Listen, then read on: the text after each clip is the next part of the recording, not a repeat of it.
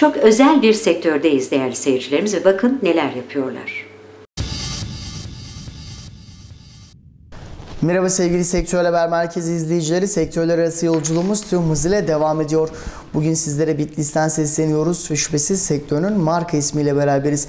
Emekeller Turşu Fabrikası'na konuk olduk ve yanımızda firmamızın sahipleri Celal Bey ve Hikmet Bey var. Bakalım bizlere sundukları hizmetlerle alakalı ne gibi değerli bilgiler aktaracaklar. Efendim merhabalar. Merhabalar, hoş geldiniz. Hoş bulduk. Nasılsınız? İyisiniz? Teşekkür ederiz. Teşekkürler. Sağ olun efendim. Bizlerdeyiz. Çok sağ olun efendim. Çok teşekkürler. Öncelikle bizleri burada ağırladınız. Misafir ettiniz. Sizlere çok teşekkür ederiz. Çok sağ olun. Biz teşekkür ederiz. Size bizi onurlandırdığınız için biz sizlere teşekkür ederiz. Ayaklarınıza sağlık, hoş geldiniz. Hoş tekrar. bulduk efendim. Çok sağ olun. Ben röportajıma Celal Bey ile başlamak isteyeceğim efendim. Ee, Celal Bey ben firmamızdan bahsetmeden önce ve ürünlerin gruplarımızı tanımadan önce sizleri tanımak istiyorum efendim. Celal Bey kimdir ve sektöre girişiniz nasıl oldu efendim? Adım Celal Yeşil. Ee, sektörde bir 17 yıllık bir özgeçmişimiz var. Gıda sektöründen başladık. Ee, turizm ve otelcilik mezunuyum. 2 yıldır da Emekeler Turşu Fabrikası'nı kurduk.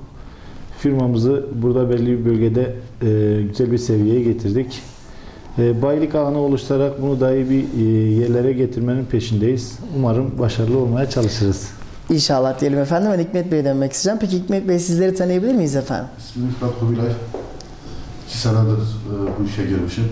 Evet. Şu an burada e, Celal Bey'le beraber sırt sırta omuz omuza verdiniz, mücadele ediyor diyebiliriz esasında. E, harika, teşekkür ederiz sizlere de efendim. E, biraz Celal Bey, ben firmamızdan bahsetmek istiyorum. Bakmış olduğumuz zaman 3 tane sektörde burada faaliyet gösteriyorsunuz. Hem kuru yemiş sektöründe, hem turşu sektöründe, hem de otelcilik sektöründe. E, bu sektörler hakkında biraz bizlere bilgi verebilir misiniz? Şimdi sektöre ben e, 2004 yılında önce gıda e, ile başladım. Kuru yemiş sektörüne girdik. Tabii turizm otelcilik mezunu olduğumuz için turizm sürekli hobi hobimizde olan bir e, sektördü. Ondan sonra e, kuru yemiş sektöründe bir 5 yıl işimizi geliştirdikten sonra otel açmaya başladık. Turizmle ilgili hobimiz olduğundan dolayı turizme yöneldik. E, Evet. Alanya'da otelimiz vardı. Sonra Siirt Veysel Karani'de Evliyaoğlu Oteli kurduk. Yani onu da e, başarılı bir şekilde işlettikten sonra turşu işine girdik. E, bölgemizde bir ihtiyaç olduğunu duyduk. Evet. Yani yöremiz e, yöresel e, turşuları üretiyor ama bunun üretimi e, doğuda nadir yerlerde var. Evet. Biz de bunlardan özenerek yola çıkarak bu turşu fabrikasını kurmaya karar verdik Hikmet Bey ile beraber. Öyle bir karar aldıktan sonra başladık. Projelerimizi çizdik ve turşu fabrikasını kurduk. Buradaki en azından yöremizde çıkan ürünleri işleme, çiftçilerimize yardımcı olma ebadında kurmuş olduk. Güzel bir çıkış yakaladık. E, Güzel bir markamız var. Evet yani esasında önce hizmet ondan sonra ticaret anlayışıyla hareket ediyoruz Tabii, diyebiliriz. E, bu arada hem Hikmet Bey hem de siz çok severek yapıyorsunuz bu işi değil mi? Evet. Evet. Severek yapıyoruz ama e, ülkenin durumu ortada. Yani Doğu ve Güneydoğu'da ciddi bir e, ekonomik savaş Var. yaşıyoruz burada. Evet. E, Doğu ve Güneydoğu ciddi anlamda e, yani ticaretin içinde hapsolmuş. Bugün bankalar e, kredileri durdurmuşlar. Halkımız perişan. Hani buna bir an önce de büyük yetkililerinin buna el atmasını istiyoruz. Hani esnaf olarak herkes kan alıyor. Evet. Burada e, krediler, e, bankalar çalışıyorduk.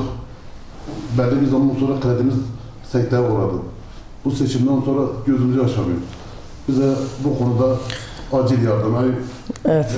demişlerdi e, çek kredilerde e, destek vereceğiz. İnşallah onu gerçekleştirelim.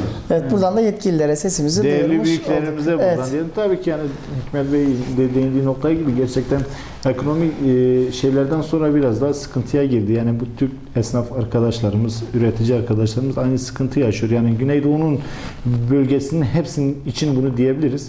Tabii ki e, üstteki mercilerden isteriz ki doğuya daha ekonomik paketlerin gelmesi, daha İslam'ın artırılması, daha yeni projelerin yapılması için onlara sesleniyoruz. O konuda biraz daha e, doğuya eğilim verirlerse seviniriz. Evet. E, peki kaç kişilik bir uzman kadroyleyiz burada? Şimdi yaklaşık olarak bünyemizde 30 tane elemanımız çalışmakta. Bayan erkek. Yani yaklaşık olarak 30 aile eşittir 100 kişiye tekabül ediyor. Tabii ki bu e, üretim aşamasında biz bayi ağlarımızla büyüdükçe bu kişi sayımız, istihdam sayımız daha da fazla olacaktır. Ama şu an mevcut 30 kişiye hizmet vermekteyiz. 30 kişi. Evet. Kişilik çalışmış olduğunuz bölgeler genelde burası mı? Çalışmış olduğumuz bölgelerde e, üretim yerimiz burası. Van, Siirt, Muş, Bitlis, Erzurum'a kadar, e, Diyarbakır'a kadar bayi ağlarımız var. Buradan üretimimizi bayi ağı kanalı ile piyasaya sunuyoruz hizmetlerimizi. Evet. Peki hedeflere ulaşabildiniz mi? Yani bu sektöre girerken mutlaka belli başlı hedefler koyuldu. Tabii ki. Bundan sonra neler olur hedeflerde? Şimdi e, biz ilk girdiğimizde tabii ki e, bir ticaret zihniyetimiz vardır. Hani malı satmaktan, üretmekten yana satışı çok önemlidir. Pazarın olması lazım. Bizim elhamdülillah biz 17 yıldır sektörde olduğumuz için pazarda bir sıkıntımız yok. Yani ilk önce biz de ufaktan bir başladık. E, Bir bayimizle başladık. Bugün yaklaşık 17-18 illerde bayiliklerimiz var. Bizi temsil eden arkadaşlarımız var. Hedeflerimiz var. Tabii ki üretim e, örnek veriyorum yıllık bizim 350-400 tonsa ilerleyen zamanlarda kapasitemizi yükseltmek bunu 500 ile 700 ton arasında çıkarmayı hedefliyoruz. Evet sevgili Sektör Haber Merkezi izleyicileri, sektörler arası yolculuğumuz hız kesmeden devam edecek. Bugün sizlere Bitlis'ten seslendik ve şüphesiz sektörünün marka ismiyle beraberdik. Emekeller Tuş Fabrikası'nda konuk olduk ve buradan aktaracaklarımız şimdilik bu kadar. Söz Merkez Yorun'da.